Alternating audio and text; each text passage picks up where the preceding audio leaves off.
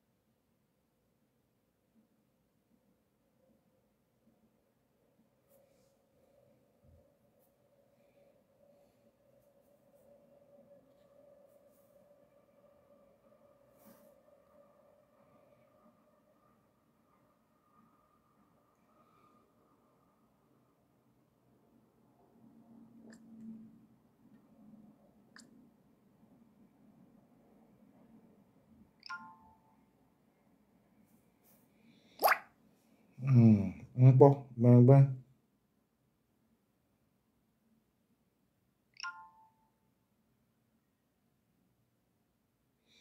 Angelo Kofi, au... On dit quoi Comment tu vas mon type En tout cas, merci d'être connecté. On est restreint, mais c'est pas grave. Nos messages vont rester pour demain. On sait jamais. Bima Ebrule, Iwe Ebrule, Iwe Ebrule, Bima Ebrule. Gbeze Gbeze Ebrule, Iwe Ebrule, Iwe Ebrule, Gbeze Ebrule. Majani Ewewe, Iwe Ewewe, Iwe Ewewe, Majani Ewewe. Bima Ebrule, Iwe Ebrule, Iwe Ebrule, Brule, Dramane Ebrule. Brûlé. Brûlé Nouviane brûlé. Brûlé Téné brûlé. Ati matiti matiti matiasa. On Alors, mesdames et messieurs, bonsoir. C'est avec euh, beaucoup de joie que chaque fois nos ancêtres me donnent la force d'échanger avec vous. Ce que je peux vous souhaiter Claude Kwasi, Ange Kofi Kip, tous ceux qui sont connectés, c'est de rester confiant, de rester déterminé et d'accepter ce que le temps nous fait subir.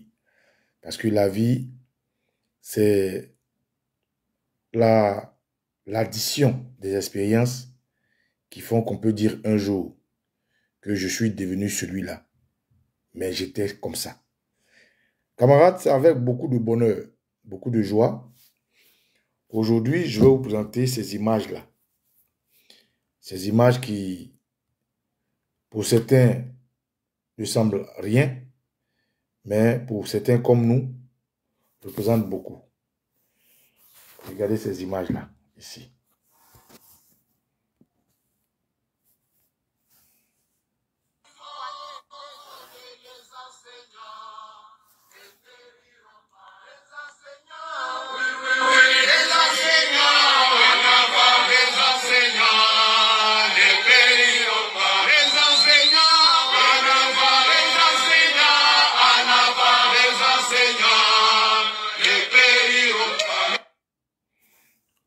Allez, arébissez, arébissez, arébissez. Jusqu'au bout du monde, les enseignants, les enseignants ne périront pas, ne périront pas. Oh, nous irons, nous irons. Jusqu'au bout du monde, les enseignants ne périront pas. Les enseignants, Oui, oui, oui. les enseignants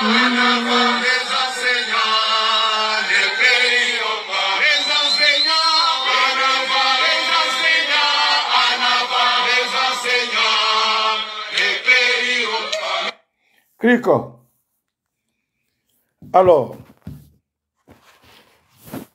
je ne pouvais pas laisser ses frères se battre sans apporter mon soutien spirituel et moral sans apporter ma voix. Parce que dans cette longue lutte contre le terrorisme Santa Ouattara, qui n'est que le iceberg d'un système colonial, esclavagiste et paternaliste qui a décidé que les Noirs soient des boys, que des Noirs restent esclaves, que des Noirs soient leurs vaches à lait, en utilisant certains parmi nous, qui malheureusement sont des Africains, comme le terroriste Santa Ouattara, affilié à sa complice Eve Ouattara, cette terroriste-là, et sa famille et ses gangs de traîtres à la nation qui, pour leur nombril, pour leur ventre, pour leur poche, décident de vendre leur euh, honneur. Oui, aujourd'hui, on peut dire merci à nos braves enseignants. Merci à tous ceux avant eux qui ont daigné tenir tête aux terroristes à Ouattara. Merci à ces fonctionnaires ivoiriens, à ces chefs traditionnels, à ces guides religieux, à, cette société civile, l'idée par Picheri Bali, à cette société politique, aujourd'hui l'idée par le président de Gbagbo, et tous les nouveaux partis qui décident de poser des pas pour que la Côte d'Ivoire puisse reluire et renaître de ses cendres. Camarades, je tiens dans cette vidéo à dire merci à ces enseignants. Ils ne savent pas la valeur de ce qu'ils viennent de faire. Ils ne savent pas. Certains diront que c'est pour juste des primes, c'est-à-dire à but lucratif. Certains diront que c'est pour emmerder le terreau Satan de Ouattara. Tout simplement parce que il se fient à ce que leurs oreilles transmettent comme information. Ils se fient à ce que leurs yeux transmettent comme information. Ils se fient à ce que leur société transmette comme information. Je veux dire merci à ces enseignants parce que s'ils ne savent pas, ils ont fait plus fort qu'il ne fallait. Et je m'explique. Mobutu Sissoko Wazabanga Kukukukwendu a gardé depuis longtemps le Zaï, qu'il a rebaptisé Congo, sous l'emprise du mysticisme, qui est une force psychologique. Sous Mobutu, le maréchal Mobutu, la communication qui n'était pas à la portée de tous, comme nous aujourd'hui, a fait comprendre aux Congolais que Mobutu était un grand mystique, un grand sorcier. Et que si tu parles de Mobutu, comme ils l'ont fait dans le temps du président Oufoué aussi, hein, on dirait que le président Oufoué était un grand mystique et qu'il était partout, il était dans les mouches qui volaient autour de nous, il avait ses oreilles partout, il avait ses yeux partout. Et pour des esprits candides, pour des esprits faibles, ces informations-là faisaient de ces gens-là des dieux. Donc, Mobutu, a, après avoir assassiné Lumumba, qui était très aimé par les Aïrois, a pu, avec son peuple, son clan, imposer un, une certaine tyrannie, une dictature au peuple congolais. En plus des armes qu'il avait, en plus des mercenaires qu'il avait, en plus des actes euh, abominables et holocaustes qu'il posait, ces gens-là sont restés effrayés, apeurés sous Mobutu jusqu'à ce que la nature ait raison de lui. Pareil pour Samuel Doué. Samuel Doué qui, très violent contre son peuple, pour des raisons qui peuvent expliquer aujourd'hui. On nous a fait dire que Samuel Doué mangeait des hommes, Samuel Doué mangeait ses, ennemis et tout. Et ces gens-là, comme euh, Adid Baba ou Adid Bibi ou comment je sais pas bref, beaucoup de gens comme ça ont eu leur pouvoir parce que dans la communication, des gens étaient tétanisés, terrorisés. Des gens étaient appelés sous peut-être que parce que le mysticisme existe en Afrique, ils peuvent garder tout un peuple, de millions et de millions de personnes contre un seul peuple. Je vous explique ça pour dire quoi? L'acte que posent aujourd'hui les enseignants est fort, va au-delà de ce que les gens peuvent dire du besoin à but lucratif, de ce que les gens peuvent dire des primes. Pourquoi je le dis? Aujourd'hui, ce que moi et mes camarades, parce que je travaille avec deux groupes d'Ivoiriens, un groupe qui s'occupe de la communication pour prévenir, pour euh, éveiller les consciences, pour proposer, pour accompagner les Ivoiriens, pour les informer. Et un groupe d'Ivoiriens qui pose des actes. Celui, ce groupe d'Ivoiriens qui est dans la communication, c'est ce que vous connaissez, la Dream Team, dont je suis encore membre et qui existe toujours. D'ailleurs, qui est la seule organisation qui depuis longtemps existe ici dans la diaspora. Nous posons des actes, nous travaillons en symbiose, nous nous, nous retrouvons, nous nous appelons, nous partageons les informations, nous communiquons et vous les connaissez tous. Et il y a un groupe qu'aujourd'hui, on a rebaptisé l'opération 6-9 pour justement aboutir à un objectif. Quel est l'objectif de ces deux groupes? En quoi ces deux groupes convergent? Ces deux groupes convergent parce qu'on veut créer la déchirure de ce rideau de mysticisme dont Draman Ouattara use avec certains communicants maladroits pour abêtir et garder les Ivoiriens apeurés. Quand on se rappelle que Facebook ne peut pas laisser des images difficiles au regard passé, vous postez une photo d'un enfant nu, tout de suite Facebook vous censure et vous relève de votre poste. Vous postez quelqu'un pendu, tout de suite, vous envoyer un message pour dire que c'est une image atroce qui ne respecte pas le standard. Vous postez quelque chose ensanglanté, amoral, que tout de suite Facebook vous envoie un message pour dire que vous êtes susceptible de, de perdre votre, votre, euh, votre page. Mais lorsque Toussaint Koufi a été assassiné, décapité, c'est même Facebook-là qui a laissé ces images passer. Peut-être les gens n'ont pas fait attention. Mais quand le RDA a décapité Toussaint Koufi et qu'ils ont mis les images en ligne. Nous tous, à distance, nous avons eu accès à ces images sur Facebook. En temps normal, ça ne passe pas. Mais à votre avis, pourquoi Facebook a fait ça? Parce que Facebook veut choquer les Ivoiriens qui sont un peu placides, un peu paisibles. Ils veulent tuer toute velléité de soulèvement de la Côte d'Ivoire qui est en train d'accompagner la destruction civile. Ils voulaient créer la psychose dans la tête des Ivoiriens, de tous ceux qui sont courageux, à arrêter de se battre. Parce que avec ces images-là, les plus lâches, les peureux vont rentrer en brousse. Et c'est qui a réussi. Quand on voit que Facebook laisse une maison brûlée où on, ramasse des vieilles personnes brûlées, calcinées et qu'on reçoit ces images, on comprend aisément que Facebook est en connivence avec cette chimère de France-Afrique qui a des agents comme Alassane Ouattara et sa femme Eve Novian Ouattara. Donc, camarades, Issouf Meite, camarade général Doumé, camarade Jean-Jacques Yao, camarade Lapoye Rose. Je vous donne cette, cette information pour dire qu'il faut dire merci à ces enseignants. Pourquoi? Parce qu'ils viennent de briser au moins case de la psychologie du mystique Ouattara. Parce que quand moi je regarde des vidéos comme Chris Yapi qui dit que le fils de Ouattara, Ténébron Ouattara, fait des sacrifices avec des albinos, enterre des albinos, tue des, des filles vierges, que le terroriste Hassan Ouattara a acheté des millions de bœufs et qu'il a tué et qu'ils ont récité des sourates et que ces bœufs ont été revendus sur tout le territoire national et que les Ivoiriens mangent et que ça, ça, ça les empêche de se lever. À un moment donné, j'ai dit, mais c'est des bêtises parce qu'avec Hassan Ouattara, nous n'avons pas les mêmes en tête. Donc Ouattara ne peut pas nous envoûter. Mais par contre, si Ouattara use de nos frères avec lesquels nous avons les mêmes ancêtres, qui sont des éléphants, ça peut marcher. Et depuis longtemps, j'ai fait fi de ces informations-là pour dire, non, c'est pas possible que Ouattara nous, nous entre à ce niveau-là. Mais à un moment donné, j'ai commencé à comprendre que il n'a pas tort. J'ai commencé à dire que ceux qui disent que Ouattara euh, a bassé les Ivoiriens n'ont pas tort. Parce que quand je vois que l'électricité a augmenté et que Ouattara a présenté plusieurs fois des failles dans sa gestion et que les Ivoiriens n'ont pas pu s'élever, je dis, mais ils ont raison. Parce qu'un homme normal, un homme sensé, ne peut pas, là où il a faim, là où il meurt, là où il est en exil, là où il est décapité, là où il est chassé, là où il vit le martyr, supporter encore son boulot. Est-ce qu'il est devenu schizophrène? Est-ce qu'il est devenu maso?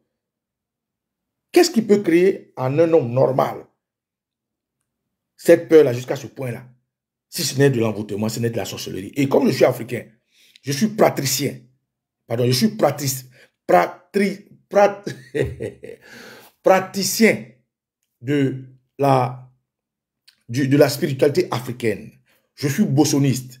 et que je sais que par des initiations, on peut atteindre certains niveaux de spiritualité, certains niveaux de machiavélisme, j'ai réfuté cela. Mais en même temps, quand je vois la réaction, quand je vois les, effets de ce que les gens disent, je dis, mais c'est vrai. Donc, si aujourd'hui, le Théo Matara fait acheter des bœufs et qu'on fait des sourates, parce qu'il faut dire que le Coran a une force. Demandez à ceux qui disent le Coran. La Bible a une force. Les incantations ont une force. Les, les cérémoniales ont une force. Les rites ont une force. La confrérie, dans toute chose, a une force. Donc, toutes ces forces-là mises ensemble, les prières que les, musulmans, les, athées, les, chrétiens, les, les bossonistes, tous ceux qui, parce qu'ils ont faim, ont fait contre la Côte d'Ivoire pour que Ouattara arrive au pouvoir en faisant des sacrifices innombrables. Là où on prend un homme, un gendarme, qui n'est pas n'importe qui, qui est une institution de la Côte d'Ivoire, on fait coucher cette institution, on l'égorge. C'est des rituels sataniques.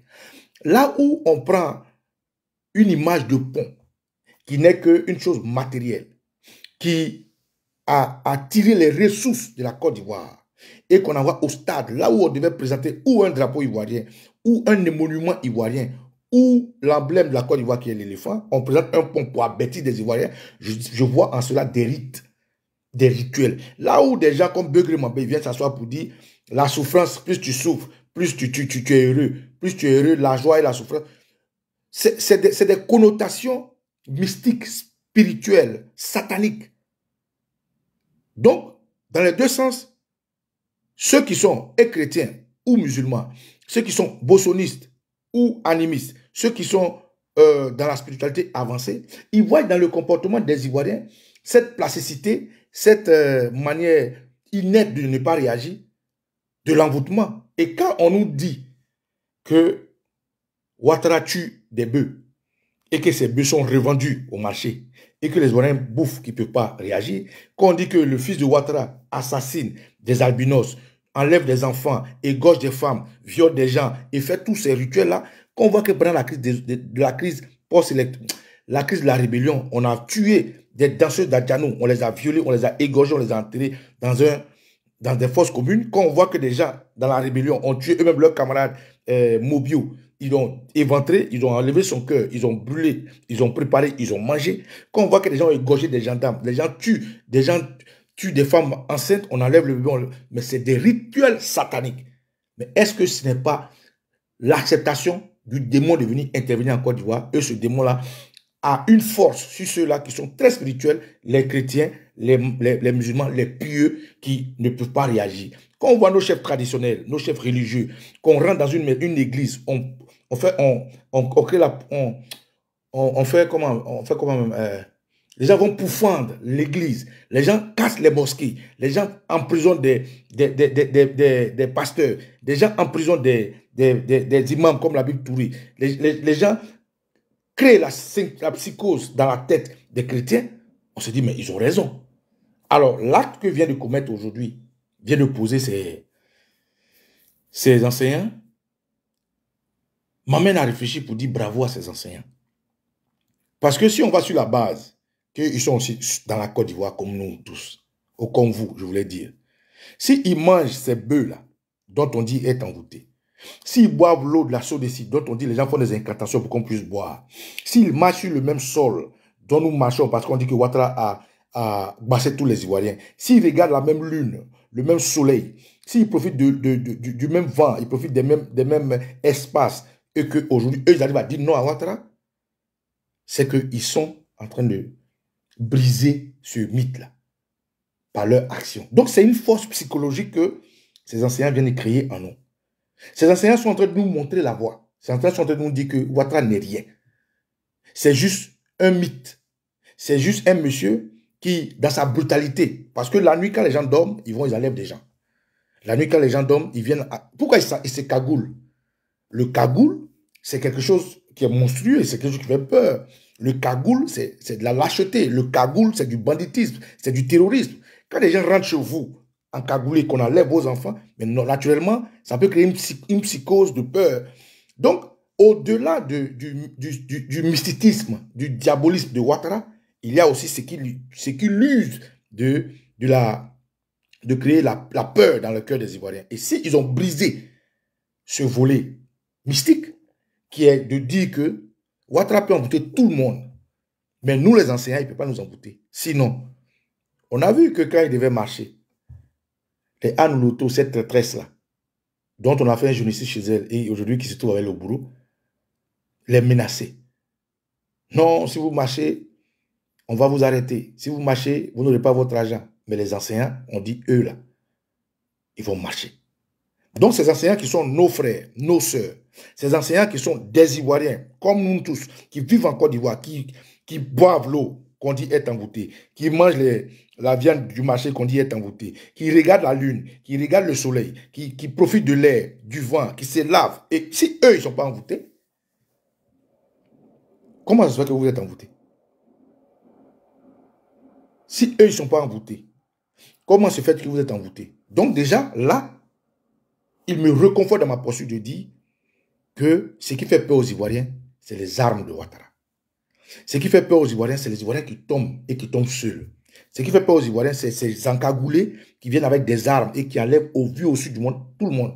Ce qui fait peur aux Ivoiriens, c'est que des gens peuvent aller inviter un Ivoirien, le mettre dans une voiture, le tuer et puis assassiner d'autres, eh, l'assassiner et puis accuser d'autres Ivoiriens. Ce qui fait peur aux Ivoiriens, c'est cette manière de la communauté internationale de soutenir Ouattara. Ce qui fait peur aux Ivoiriens, c'est que le président Babo lui-même, avec toute son armée, a été combattu et a été enlevé. Des Ivoiriens sont morts. Ce qui fait peur aux Ivoiriens, c'est que des gens ont été témoins de ce qui est un génocide au plaisir de Ouattara. Ce qui fait peur aux Ivoiriens, c'est que Ouattara arrive même à tuer ses propres fidèles. Les Ahmed Bakayoko, les Gon Koulibaly, les Amadou euh, tout ça là. Donc, c'est cette brutalité machiavélique là qui fait peur aux Ivoiriens, à mon avis. Donc, si les professeurs les enseignants, les instituteurs. C'est devant vous que les avocats ont marché. On les appelle les amis en prison.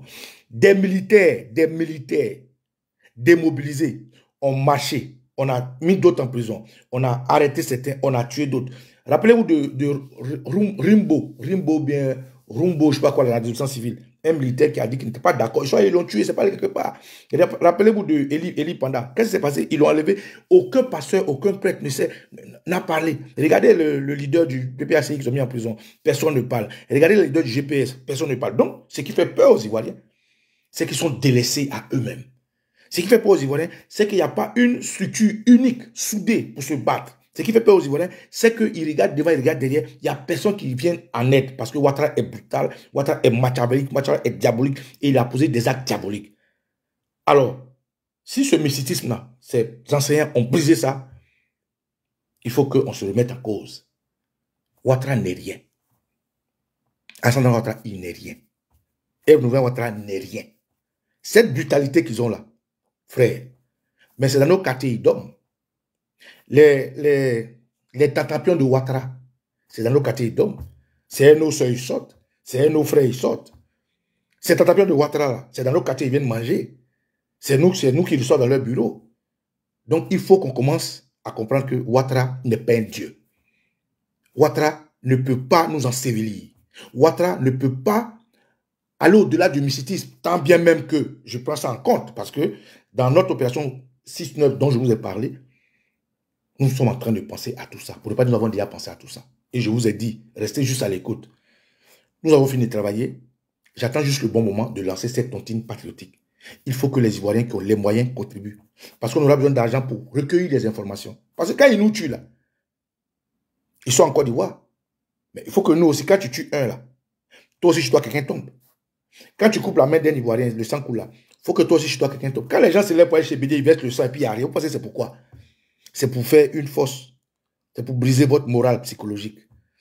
Tout ce que Ouattara fait là, c'est pour vous détruire psychologiquement. Donc, si ces enseignants ont posé ce tac-là, il faut leur dire merci. Il vient de nous montrer que Ouattara a beau être sorcier, il a beau être mystique, mais tous les Ivoiriens ne sont pas envoûtables.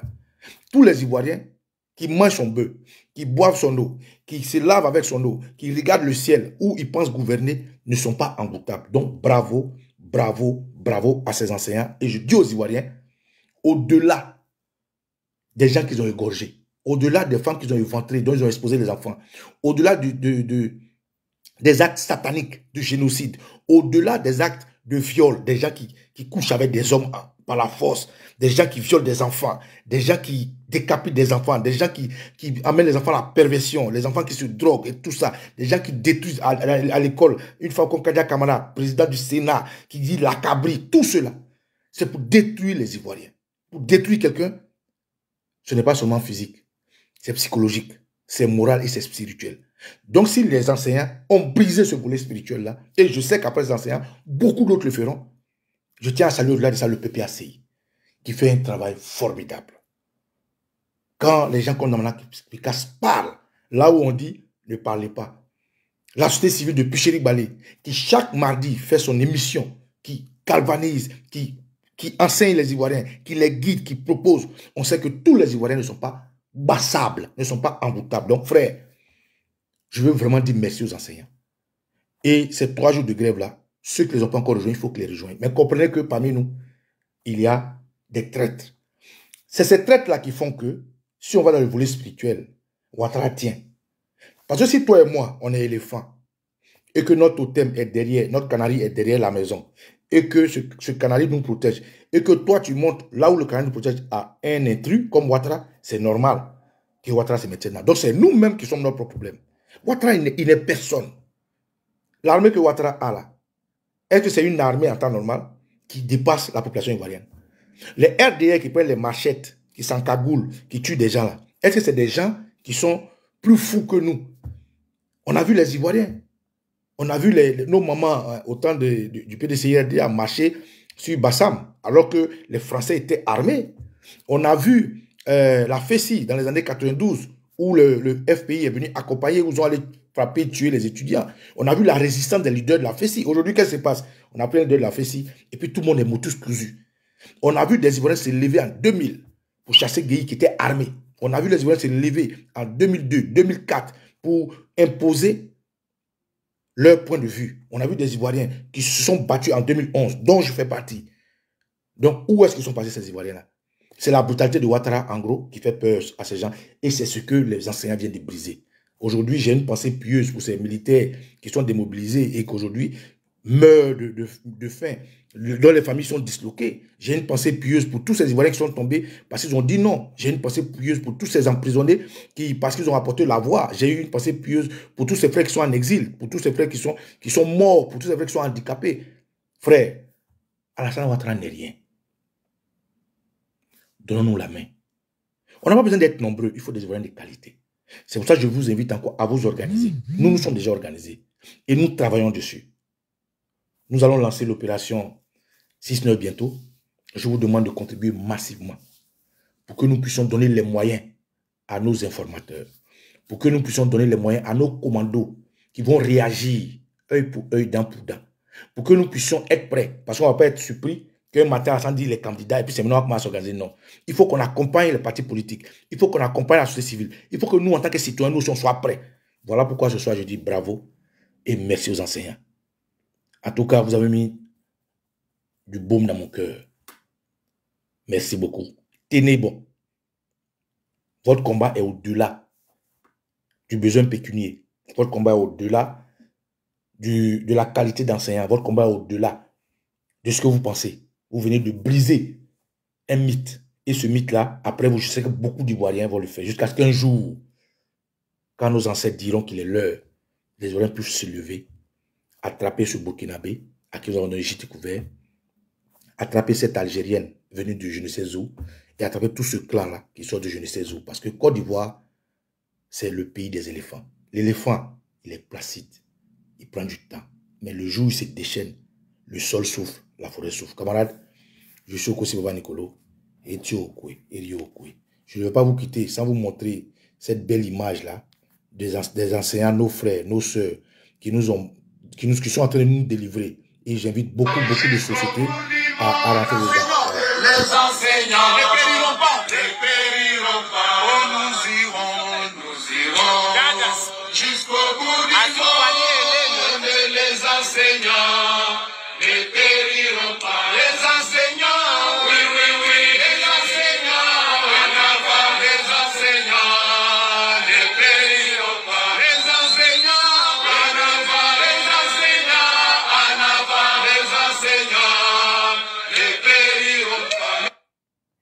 Arébissé, arébissé. Ototo Yankee.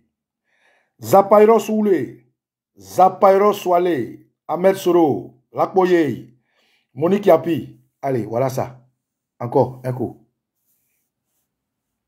Allez, musique. Faut jouer. Jusqu'au bout du monde, les enseignants, les enseignants ne périront pas, ne périront pas. Oh, nous irons, nous irons. Jusqu'au bout du monde,